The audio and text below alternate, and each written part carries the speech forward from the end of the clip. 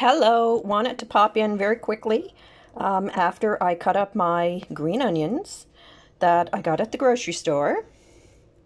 Package of greens, excuse the dogs barking, and it seems to be that time of day. But anyway, I cut them up, the tops off them, cut them up, put them in some water, and I will freeze them, and then I will pop them into stews or soups or whatever I'm eating, and this way they stay fresh I don't have to worry about them drying out on the counter and I will wait for my onions to sprout again and I've just got them in, in plain old water here. Um, I may even plant them.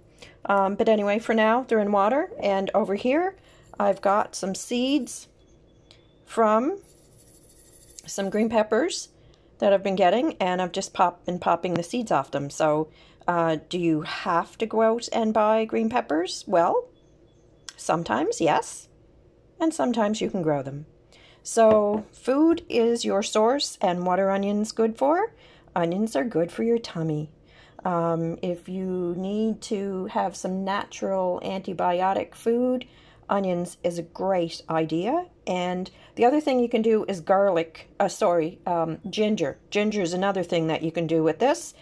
Um, just peel it with your potato peeler, cut it up in chunks, put it in your ice cube tray, fill it with water, and freeze it. And voila, you have ginger fresh all the time.